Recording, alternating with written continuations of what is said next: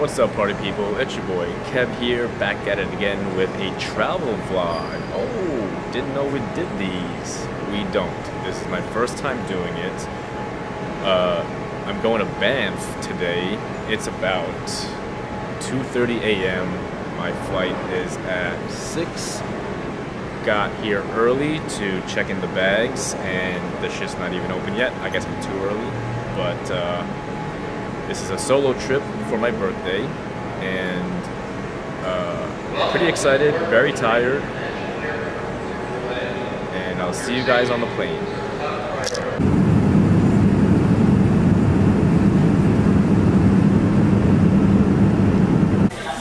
First meal out of the airport, Korean food.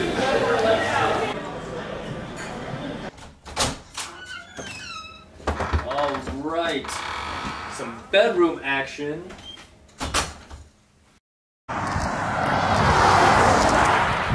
Bro, I had to pull over to get this view. Jesus Christ. The camera definitely does not do it justice. Oh my god.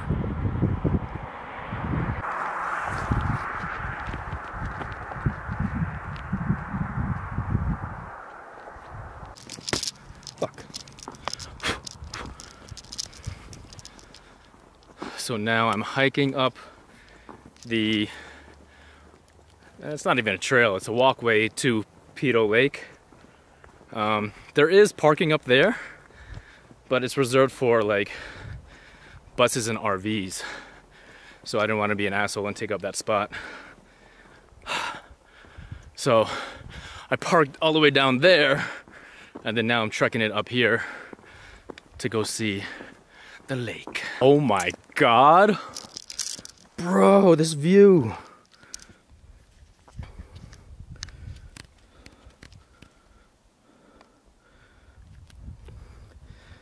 I wish I could expose correctly for this. The camera does not do it justice at all. At all. So I figured I'd make this a a raw vlog. Not gonna do anything special, no fancy camera movements, just me, this single camera. So the highway that I took to get here is called the Icefield Parkway. There's no ice because it's like still pretty warm. But along this parkway, man, some beautiful, beautiful scenery. Like, I didn't think scenery could make a grown man cry. And it's not because I'm soft. I mean, I'm a little soft.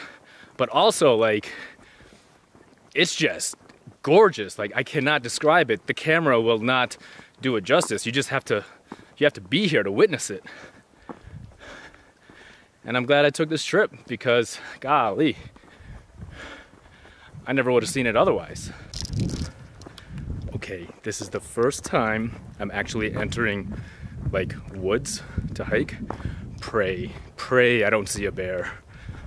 I don't have bear spray.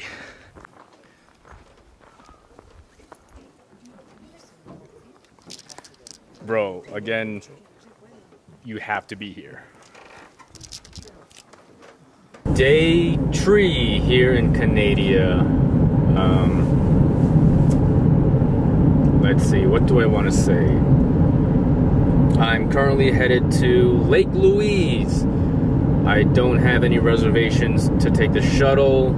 Um, I'm going to chance parking in the parking lot and rumor has it that it's impossible like zero chance to get parking at these lakes uh, both Moraine Lake and Lake Louise after sunrise like you might as well just turn around and go home but a nice lady at the restaurant uh, where I had breakfast earlier she had said that it should be slowing down this season in terms of like how many people visit the lakes because school started and majority majority of the people that visit the lakes are coming from Calgary. And with school starting everyone's busy there shouldn't be as much people visiting as like during the summer months so Here's hoping that's true and I'm able to find parking somehow. So I made it to Lake Louise and it's fucking hazy. Parking was no problem and this is why. Lake Louise, guys.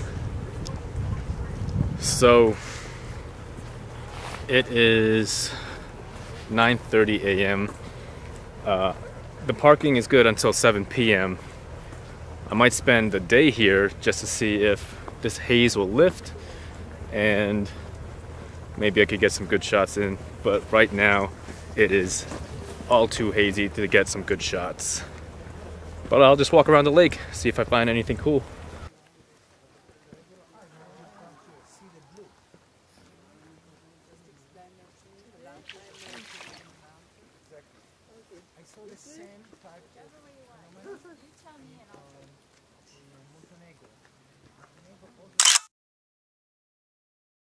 Back at the car, the haze does not seem like it's uh, letting up. In fact, it's getting worse. So all good. At the very end of uh, Lake Lake Louise, Lake Louise, at the very end of Lake Louise, where I hiked out to, um, there was like less haze, but like it wasn't clear at all. But I got some, I got some satisfactory shots, and uh, now it's around midday. I think I'm gonna go back to Banff, explore Banff a little bit more, and then go to my friend's cousin's Filipino restaurant in Canmore, probably for dinner tonight. All right, quick update. I'm on my way back to Lake Louise and Moraine Lake. Um, they're they're like neighboring lakes, so it's not a big deal to get there, and it's like 45 minutes away from where I'm staying. So again, not a big deal to get there when I headed out, um, I took a nap and I had some lunch at that Filipino spot. Didn't bring the camera because uh, just didn't feel like it. And um, that's that's what I kind of like about exploring on my own. I get to do everything that I want to do on my time. Like. Had this been a group trip and we all agreed upon like going to Moraine Lake, then that's what I would have to do.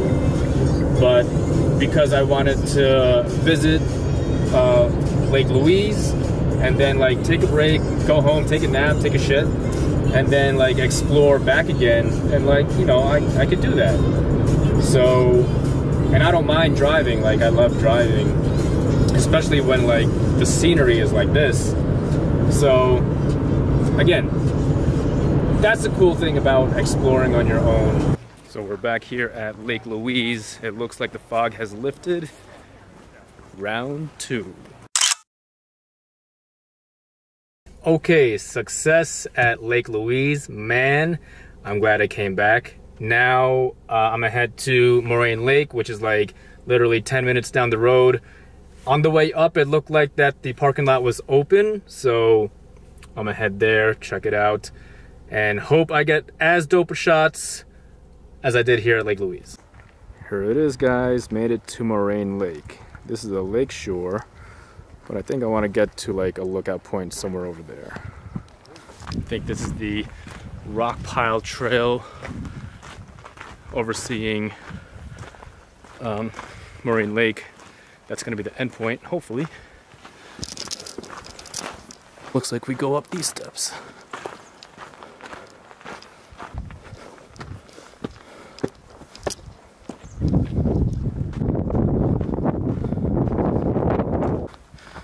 Oh shit.